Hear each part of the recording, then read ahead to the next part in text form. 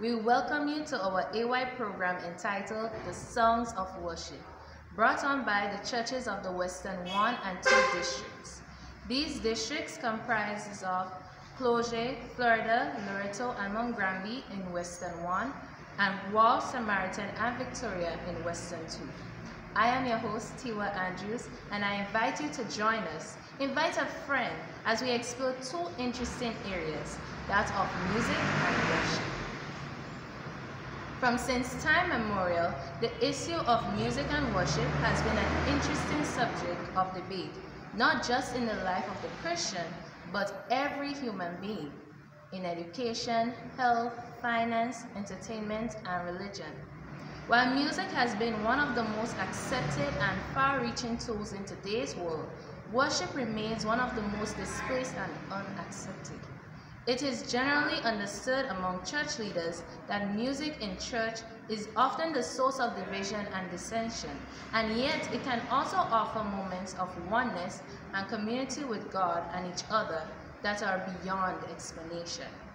This report seeks to encourage our awareness of the importance of the different forms of music in our worship and our faith as we seek to encounter God.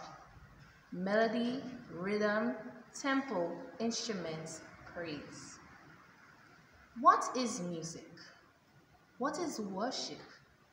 What is the relation between music and worship? Is there a right and wrong music for worship? There is much in store for you today. Stay with us as our praise team leads out in songs of praise. Good afternoon, everyone. And we are the members from Western 2 District and we'll lead out in the song service this afternoon. But before we do so, let us bow our heads for a word of prayer. Our Father who art in heaven, Lord, we thank you for your holy Sabbath day of rest. We thank you whereby we can come back to continue our worship with you. We pray, O oh God, that you will be with us as we sing. May your praises be lifted up and the blessings come down. This must we ask in your holy and precious name. Amen. Amen.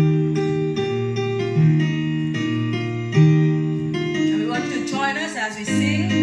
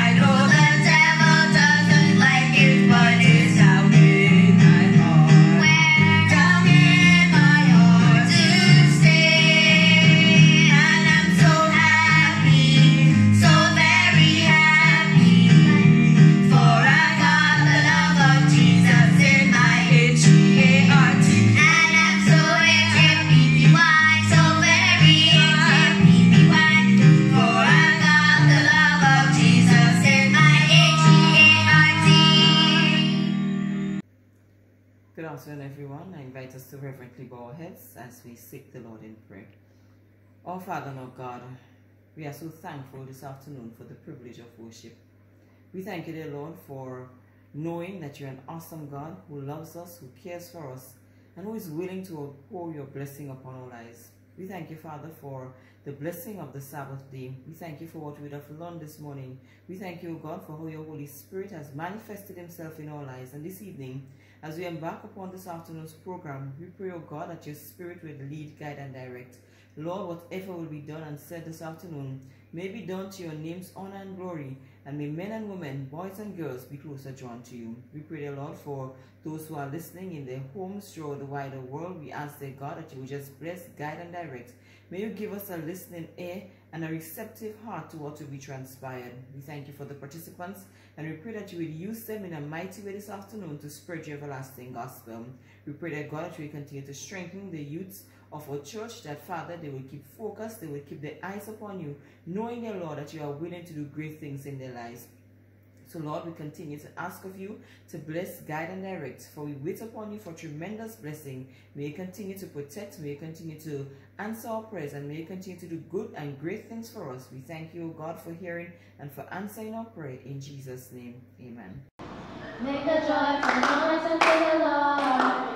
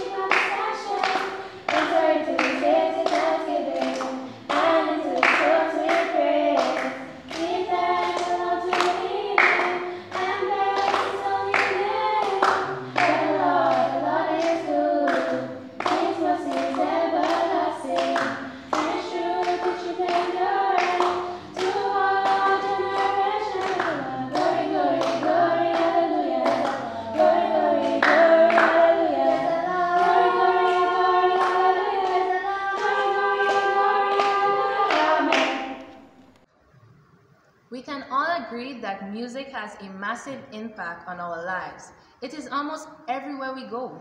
Many say it causes intense emotions and overwhelming joy within them, influencing moods and actions, thoughts, and feelings.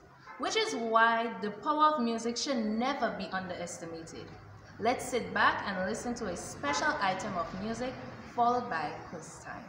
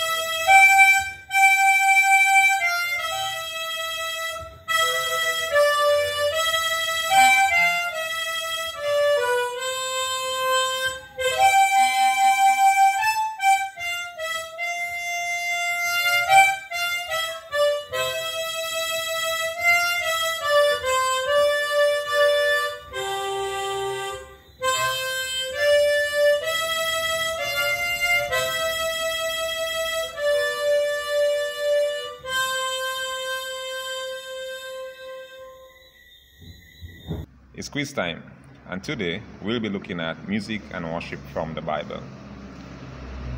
Question 1 With what instrument did Miriam lead the women out to sing to the Lord when the Israelites had crossed the Red Sea? With what instrument did Miriam lead the women out to sing to the Lord when the Israelites had crossed the Red Sea? A. Timbrels, B. Tambourine, C. Cymbals, and D. germs. You can get some time to choose your answer. Let me just read over the answer again. The answers A. Timbrels, B. Tambourine, C. Cymbals, and D. Drums. And the answer is timbrels, and you can find that in Exodus chapter 15, verse 20. Let's move to question 2. In the book of Revelation, of what city did the angel say, The voice of harpers and musicians, and of pipers and trumpeters shall be heard no more at all in thee? Let me read it over. In the book of Revelation, of what city did the angel say, The voice of harpers and musicians, and of pipers and trumpeters shall be heard no more at all in thee? A. Sidon, B. Tyre, C. Babylon, D. Laodicea. A. Sidon, B. Tyre, C. Babylon, and D. Laodicea. I'll give you a few seconds to choose your answers. And the answer is C. Babylon, indeed. And you can find that in Revelation chapter 18, verses, 20, verses 2 or verse 22. Question 3. What instrument does the prophet Amos say strikes fear into the heart of the people when they hear it? What instrument does the prophet Amos say strike fears into the heart of the people when they hear it? A. Cymbals, B. Trumpets, C. Horn, or D. Drum. I'll read over the options. A. Cymbals, B. Trumpets, C. Horn, and D. Drum.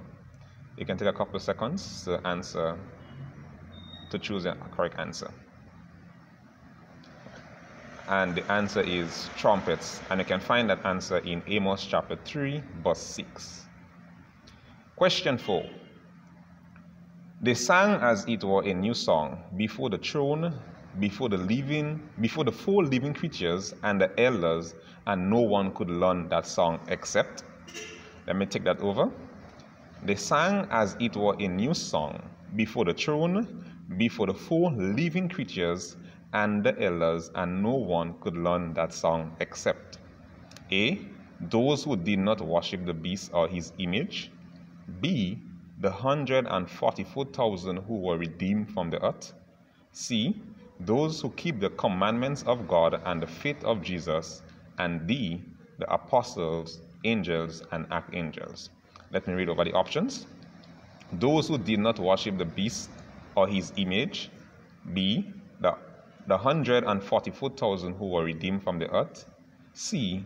Those who keep the commandments of God and the faith of Jesus. And D. The apostle, angels, and archangels. Let me give you a few seconds to ponder on the answer, on the options you had. And the answer is B, the 144,000 who were redeemed from the earth. Number five, speaking of Solomon, the Bible says he spoke. Speaking of Solomon, the Bible says that he spoke. A. 30 proverbs and his songs were a thousand and five. 30 and one proverbs and of songs but one. 3,000 proverbs and his songs were a thousand and five. D. 30 and one proverbs. Sorry, let me take that over. D. 30 and one proverbs, even as his songs were 30 and one. All right, let me read that over for you guys. Speaking of Solomon, the Bible says that he spoke. A. 30 proverbs and his songs were 8005. B. 30 and 1 proverbs and of songs but one. C. 3000 proverbs and his songs were 8005. Or D. 30 and 1 proverbs even as his songs were 30 and 1. All right, let me give you a couple of seconds to choose the correct answer. And the answer is C.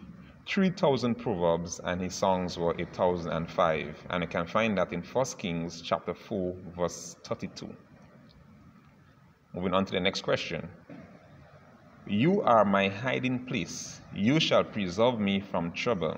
You shall surround me with your songs. Blank. Selah. All right. So you have to do um, some filling in the blanks. Fill in the blank here. You are my hiding place.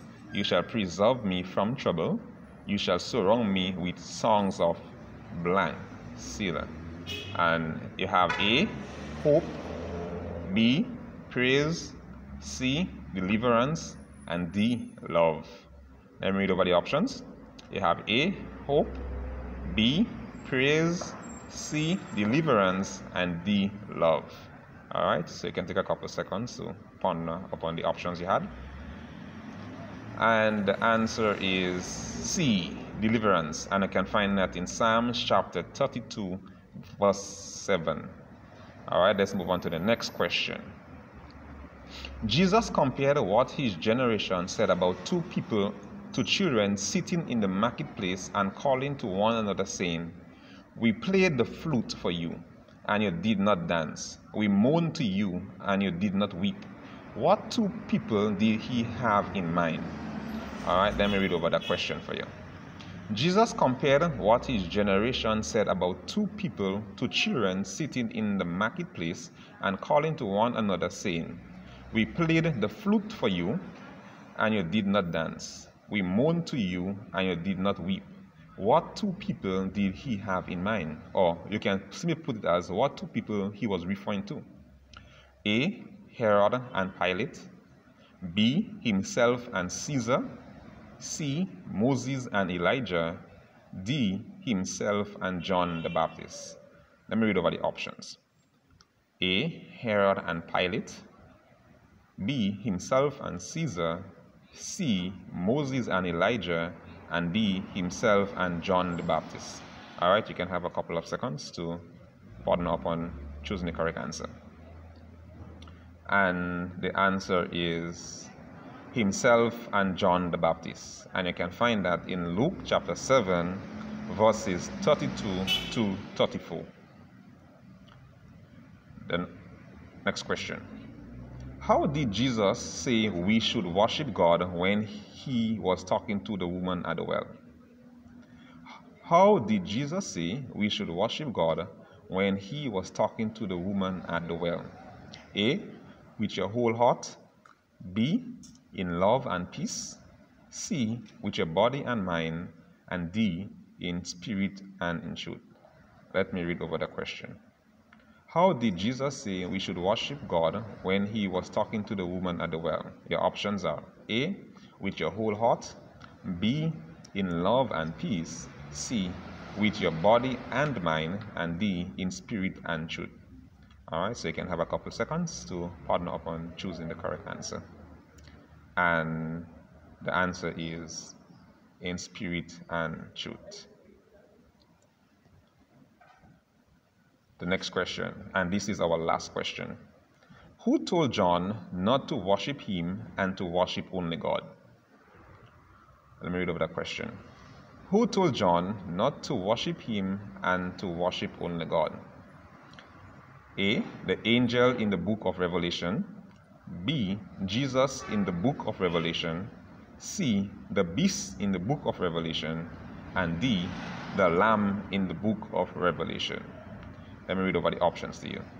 The angel in the book of Revelation, that's A, or B, Jesus in the book of Revelation, you have C, the beast in the book of Revelation, and D, the lamb in the book of Revelation. So let me give you a couple of seconds to ponder upon choosing the correct answer. And the answer is the angel in the book of Revelation. So today we thank you for participating in the quiz. If you get all correct, which is 100%, we congratulate you. If you get 50 and above, we also congratulate you. If you get 50% or below, we ask you to study more of God's word.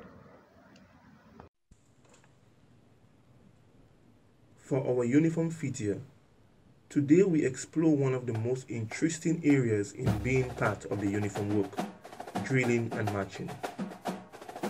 The primary purpose of drilling and marching is to prepare the squad to carry out an order. In addition, it teaches valuable lessons of obedience, respect, self-control, fellowship, and leadership development. Now let's explore the rhythmic part of the drilling and marching, the cadence. home when you look. You're right. Your daddy was home when you look. You're right. Your sister was home when you look. You're right. Your brother was home when you look. You're right. The dog was home when you look. You're right. The cat was home when you look. You're right. The fish was home when you look. You're right. Your mommy, your daddy, your brother, your sister, the dog, the cat, the fish was home when you look. You're right. And that's the reason you look. You're right. I left my home. I left my home. To join the army. To join the army. I left my home. I left my home. Join the army. To join the army. Cadence is defined as the beat, time, or measure of rhythmical motion or activity. It has been used in the military since the revolutionary times as they needed to ready the troops for action. Now the military uses cadence to keep soldiers stepping in time while marching or running in formation. The cadence caller leads the formation with melodies and the soldiers learn every time that person starts a verse, the left foot should hit the ground. However it started, cadences have become as commonplace as a uniform. Drill sergeants throughout the military are taught the calls, while they are learning to be the best soldiers they can be. These are the same ones I heard when I came in, and that was a long time ago. Some of them have changed. They have come up with new ones. It seems like whenever you have cadence in your match, it gets a whole lot better. While it's not a singing competition, squads still have clear favorites when it comes to back and foot calls. A good one could be our Pathfinder song. If you haven't tried drilling and marching before, now would be a good time to visit a uniform club near you and enjoy. Squad, dismiss. Songs are all around us, from birds chirping and waves lapping against the coastline to cars honking in the traffic. Such organized songs are called music. Music is a process of putting sounds and time in an order, often combining them to create a specific atmosphere or to express ideas or emotions. Now let's join our special guests as they lead out in a discussion. Good afternoon, sisters and brothers. We are here this afternoon to discuss a very important topic music in worship, or music and worship. We have four very knowledgeable young persons here this afternoon who are going to help us to get enlightened on this topic. So I'm going to introduce the four panelists to you at this time. To my immediate right is Sister Laverne Ma. She comes from the Mount Granby Church.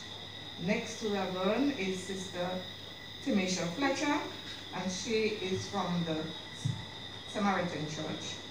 Next to her is Brother Chad Forsyth, elder from Victoria St. Baptist Church. And finally at the end, Sister Shemaya Superville, and she hails from the town of Wharf. This afternoon, we're going to be sharing on the topic, as I said before, music and worship. Now, ladies and gentlemen, we, I think we all appreciate that music is something that all of us can relate to.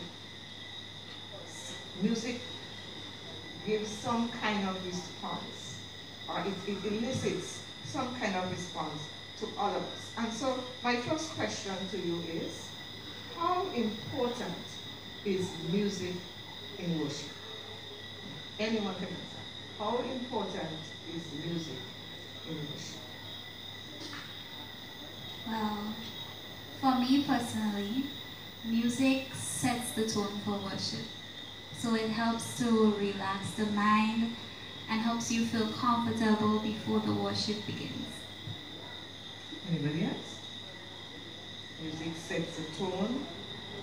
It's important. Anybody have anything different? I think music is important to God because it was God who created music. He created angels to worship Him. A matter of fact, Lucifer was a musician, right? So I think God knows the importance of worship. He knows the importance of the music in relation to worship, and that is the reason why He created music. Because music is here. Amen. Just to add a little, I also see um, music as a vital part of worship. Just think of having a, a worship session, church, devotion, and there is no singing, there is no music. It, it feels dry, it feels dreary. It's clear that something is missing. Um, and so we all see that music, singing plays that critical role of connecting you and we, we have that kind of emotional part of us, you know. And um, we can't separate the, the music from that. You know, music boils up our emotion, connects you with God, it gives you a free of mind that you like, you feel like you're opening yourself. You become kind of vulnerable to receiving whatever is in store. So to me, if you don't have, have, have music, to me, it's like you, you're not, your worship is not complete. Yes. Um, well, for me as a musician, I like to reach in church early, let's say what 15 minutes before the service starts, and play some nice Sabbath songs, some nice Sabbath music. It sets the tone, it sets the atmosphere. So when members come in, no matter what the week was like, they come, they calm, they relax, and they're ready to worship and enjoy the rest of the service and to participate. Because coming in church just so without that nice soft introduction, whatever worries or stress you had, you come in it with that to go through the rest of the service. But if you have the music and you relax yourself and you let it go, then you're much able better to participate and to praise God as you're supposed to. It is also said that music unifies people. Tell me something about that. Music unifies. Is it true that music unifies people? Or can you see that in relation to church and worship?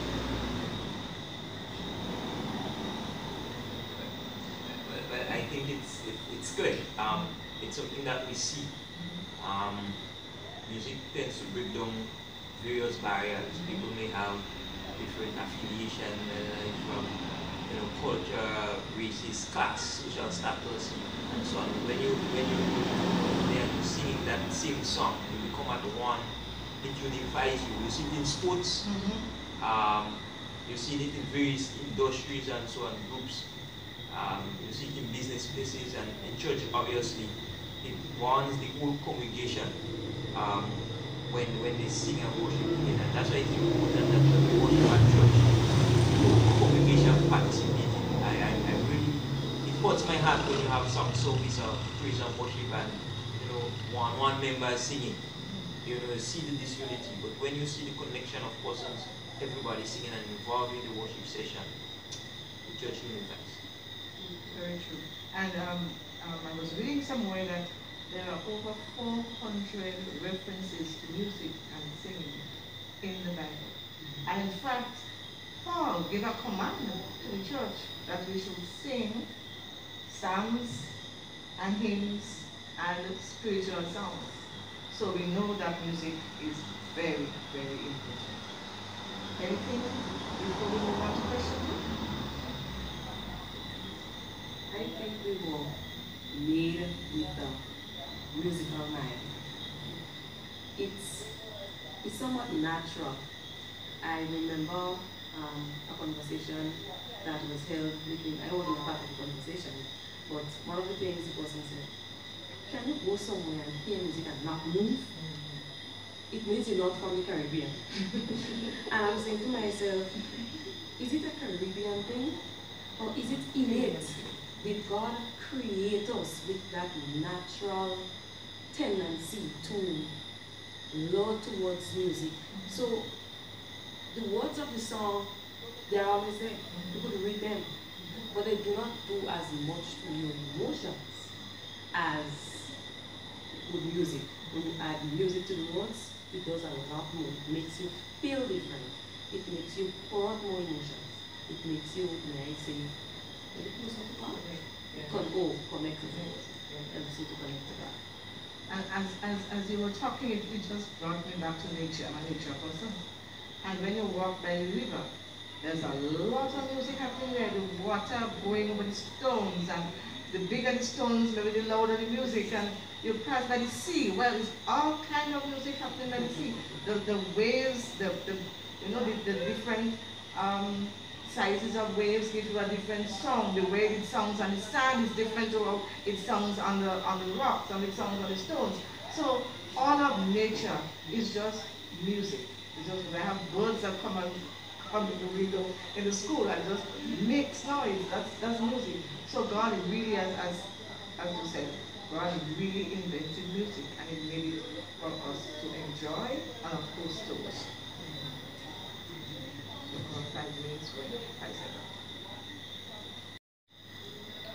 So we have decided that music is extremely important in worship, very important. So now we're going to look at our second question. What are the uses of music in worship? What purposes can we use music for in worship? Who will pick it first?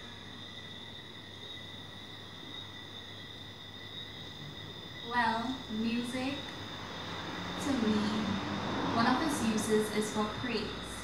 You know, to glorify God, just to recognize His amazing love and grandeur. Good, praise, yes.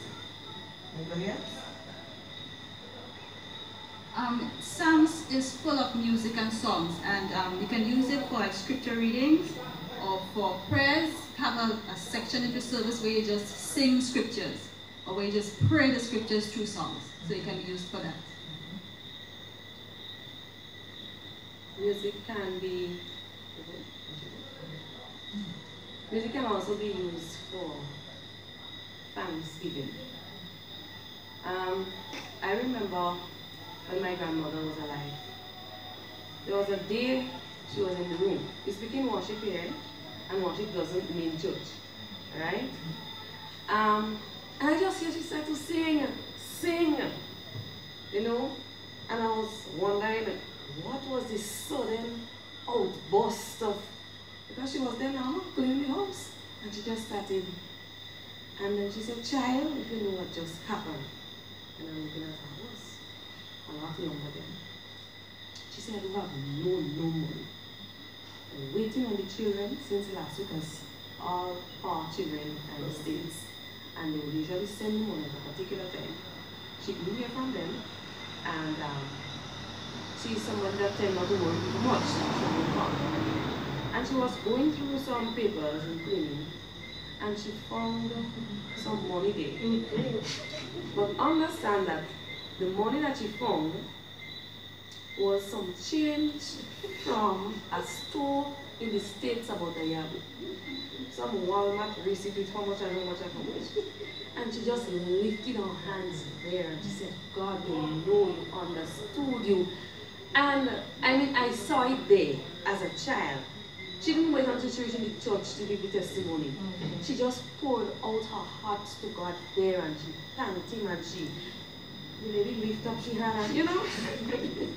so I can testify that music can be a form of thanksgiving. We do not always have to go down and just say thank you. Maybe just the simple way. But we can sing it to God like David did in Psalms. Sing it and pour out our heart and allow God to know how thankful we are to Him for how He works things out in our lives. Like you were singing, touching me. um, and, and even continue, I, I also see um, people confess um, to bring on that kind of contrite heart.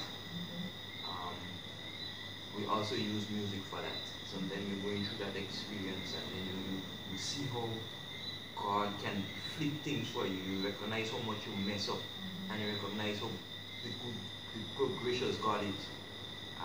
You're just flipping at a song just coming there and you, you speak your heart, you, you pour yourself to God. And so in worship I see um, music being used as that is a confession. And um, on the along the lines of confession, um, we also use music when we're making appeals, like calling persons to accept Christ. We, we tend to use music for that, like passing out to gentle Savior. Right, we use music. I usually call music um, in, in worship, I call it the gospel according to music. I, I see I see music as, as a ministry, I see it as a as a sermon, as a mini sermon. So the person that sings in church is doing the same job as the preacher because they are preaching in song. And sometimes too, depending on what the song the person sings and how they sing it, sometimes you don't even need the, The sermon because the yes. song says everything. Yes. Um, one, one other thing that nobody said, but music in worship can be for meditation. So, so the pastor preaches or somebody establishes who's present says something and she just wants you to meditate on what she said. And you just hear somebody saying, Search me, O God, and know my heart today. It's just, just for you to meditate.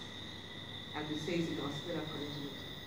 Another thing that came to mind as we are speaking is, I don't know if it's for worship or for memory. Do you realize that we use a lot of music to teach children? Yes. And so, in order to, in order to remember some of the songs, we don't use any form of a song. Yes. It's easier to retain in memory when we do that way. Excellent. In fact, that was what the other question for. You put question. All right. Yes. Anything else before we move to question two? Memory, I remember learning a song when I was in um, in Sabbath school. It was um the fruit of the spirit, is love, and yes. and I still know it till this day. Yes. And- And in, in worship also, um, we, we, we use music to, to teach certain doctrines or certain things that might be kind of kind of difficult to get. You know, it's like it's like in school there's a topic that's really hard and so let's do a jingle and we learn that. So you you will use it in the Pathfinder Club in the children's department as as Sister um, is saying that you use that to get us to learn the doctrine, learn the, the text, learn Yes, and there's also another part that we do every Sabbath when we're looking for the offering. we always have music when we're picking up offering, whether it's in a crusade or in church, we have music there too. because it makes us respond. You so, when, when, when we're singing, give and it shall be given back to you, shake down.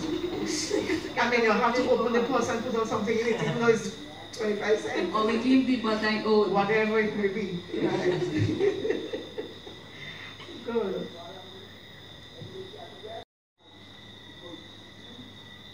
So we looked at how important music was. We looked at the, uses of music in, in, in church, in worship. And now we're going to look, we're going to go back to the Bible. Because everything begins there. So let's go back to the Bible and let us look at how the role that music played in the Bible. What kind of roles did we see happening with music in biblical times?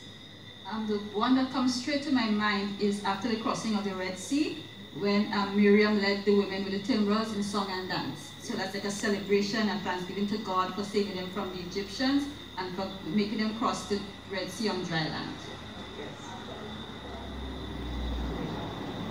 She said, praise and we know a lot of psalms and we sing of them. Make a joyful noise unto the Lord when we think about David and all. But one of that really out anytime I think about is when David and Saul you know, he had this evil spirit, so it changed your mood.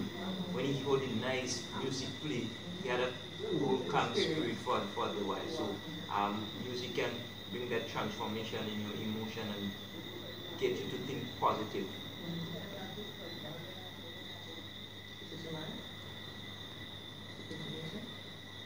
Um, speaking about music in the Bible, and um, my mind goes back to when the music was played for Meshach, and Abednego to bow down to the image. And what I'm getting is, despite um, the fact that music is able to play on your emotions, they stood firm, they stood their ground, everybody else heard the music and they said, I'm going to go. And these three boys um, decided, I am not going to go. Despite the music is being played and it affects how I feel, they decided to stand. I love that. I love that example. Because that one is, is and, and that's what we see happening now. The people know how to use music to get people to respond. And Nebuchadnezzar, is since those days, knew that. And he brought out all of the instruments, everyone. And some of them must have bowed, because those three boys were not the only three Hebrews there. But all of them forgot what they learned about bowing down. And the music them and they just bowed. And those three guys did not allow the music to cause them to move. Very good example. Yes, Brother Charles, see you have one before us. I mean, I try to reflect there quite a few. Um, when I think of Revelation, um, talking about the, the four beasts and people knows when we overcome, we will sing the song of Moses and the Lamb, song that the angels cannot sing.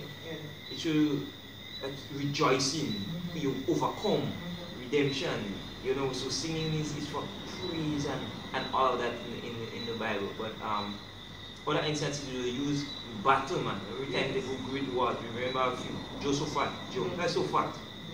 Yes, Chronicles 20. Uh, God used that and he puzzled the whole army. You know, they fight against the whole set, the songs get them messed up, man. Um, so music has this, this great role even in battlefield. We see it in, even in today's world, in sports and things. You know, basketball fans, you know all those, they, they listen, they kind of hype music. You know, game time, and you play your music and you go there and you mash up everybody. So it's the same thing in the in the Bible. I see it sometimes um, in, in wars and so the guys prepare themselves by listening to certain music. And even when you when you praise God and thing, you get that frame of mind that you could you could do anything with, God's help. Um, another instance comes to my mind in terms of consecration.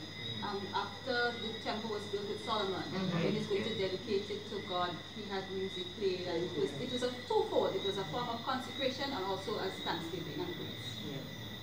Very good. I like the one you want. The one won the battle. Mm-hmm. God told them nobody going out there with no spear, no shield, nothing. Put the choir in front of the ark and they just went around and they just sang and sang and sang. And I could imagine how baffled that, that the, the enemy army was. What happened to these crazy people? And I wonder in church, can we not use the same thing? We know what the world, how the world uses music. Why can't we have some battle, gospel, ministry with only music? And take over the carnage, take over, which, yes, and because it was done, God showed us the way it was done. The army fought against themselves, and that was it. They did not have to lift a finger. So we know that music can be war. I believe, I believe I believe. Yes. trembles Yes. when you sing. Yes. I personally believe that. When you pour out your hearts, Ellen White tells us that um, songs, music, is basically equivalent to prayer.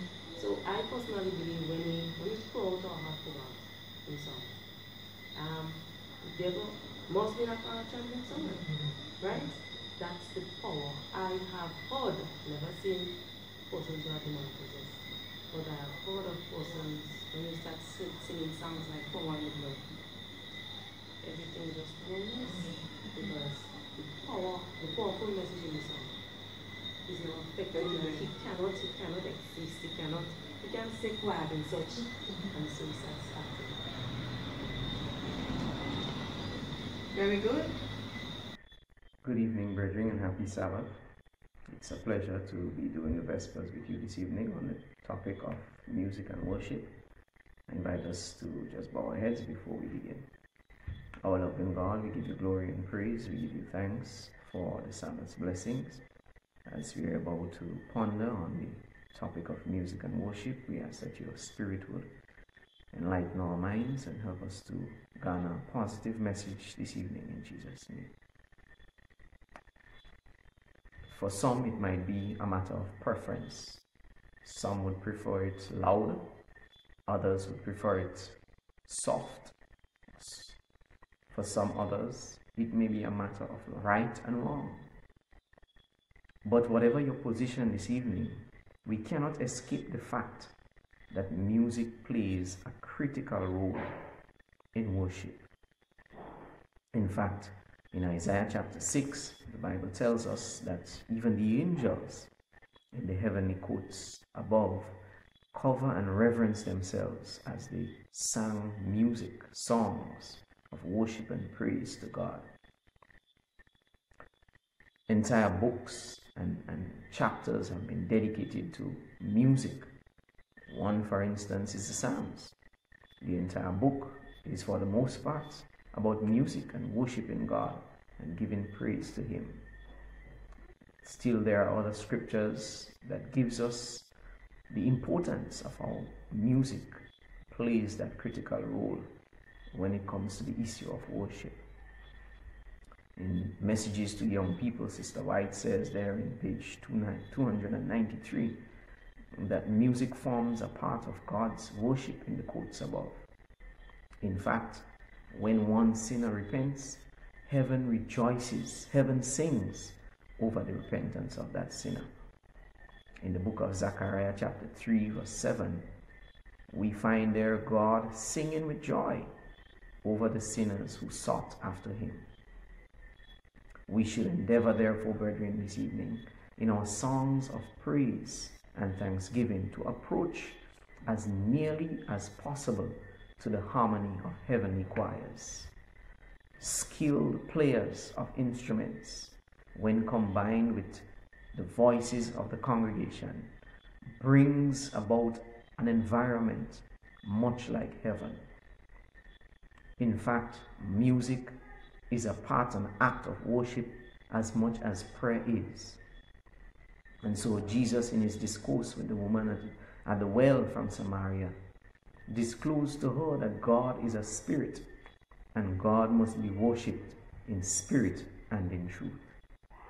In spirit, because when we sing in the spirit and understand the notes that we give, we have heavenly musicians who join and takes up the strain in thanksgiving that we give to God.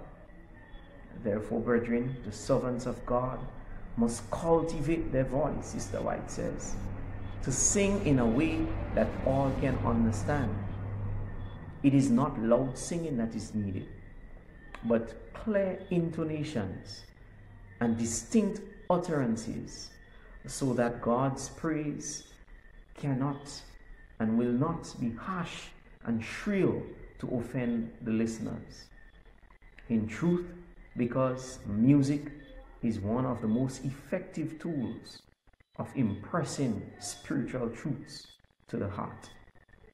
Many times when we are in despair, a psalm on our lips and a song in our hearts can cause temptations to lose their power. If heaven can sing, brethren, then redeemed men who escape the clutches of eternal death should have even more reasons to worship God in music. We live in a chaotic world, a world where depression and anxiety and stresses of life seems to be invading the life of even Christians. We live in a world where there seems no hope for the future. As a matter of fact, the Gospels informs us that men's heart will be filling them for fear towards the end of the world. Music, therefore, brethren, was made to serve a holy purpose. And you might ask this evening what that purpose is. Music was made to lift the thoughts of men to that which is pure and noble and elevating. In other words, brethren, music is an antidote and a therapy to the weariness of the soul.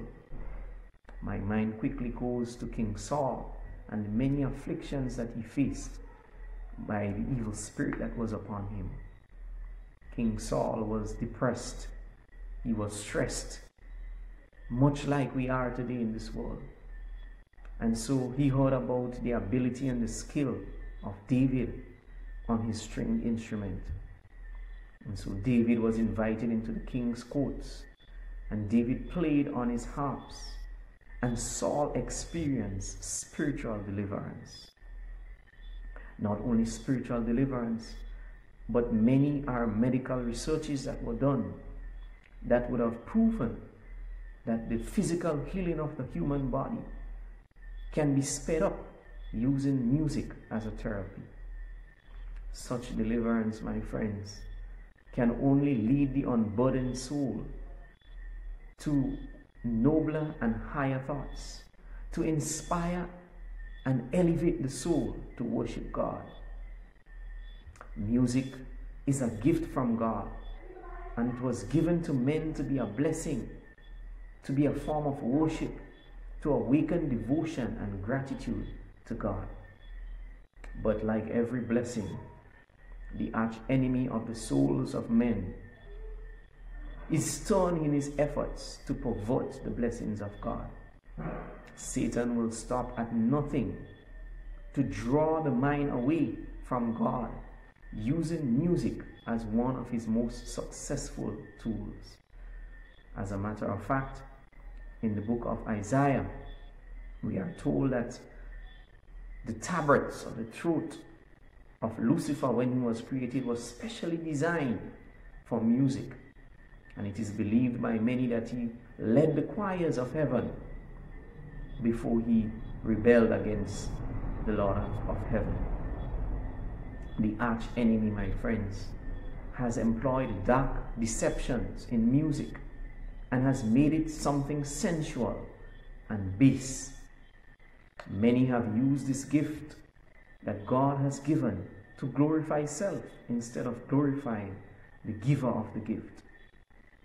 We ought, therefore, brethren, this evening to be careful in this age of deception that we live, not to turn God's blessing into a curse. As I conclude this evening, music is a gift given by God to be a blessing to man and to be a blessing to God Himself. Music is an act of worship, much like praise, as I said before. Music also brings healing, both physically and spiritually. So go ahead, my brethren, this evening. Sing. Sing and let the walls of despair fall in your life. Sing and let your prison doors swing wide open. Sing and watch the Lord work out the salvation in your life. Sing the dark and doubt away. Let everything that has breath, the Bible says, sing unto the Lord. Praise the Lord, teaching and admonishing one another in psalms and hymns and spiritual songs. Be blessed this evening, brethren. Be blessed and let's sing unto God a note of praise because he's worthy to be praised.